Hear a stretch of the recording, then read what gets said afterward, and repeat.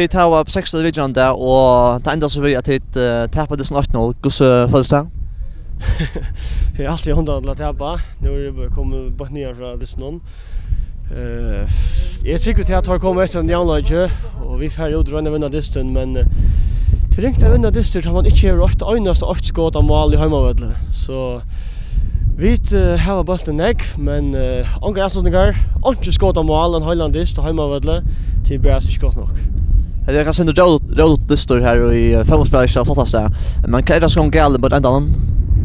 Nej, men så vi rönnar lägger under nummer 4 för jag får de valet som ska till för vinna dysten och ta kostar så finner det in. Spelar bollen runt i vägen nu och klockan borstar här och tar skora och ja ja det är eländigt distor och en eländigt tap och, och stottlar jag lugga då.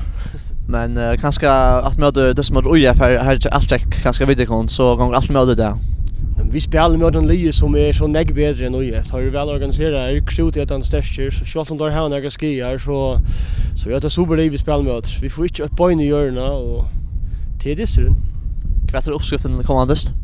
Tror jag sig. Vi så vi har vi bestämt nästa fjärde har han en final också om och Vi nu ligger nu med min onkel Stanley och jag kör jag körde han stora kvart kvart Hen i Ørslytten enda vi, men vi må bare røyne få det styne som skulle til for vi bli hengende i støltene.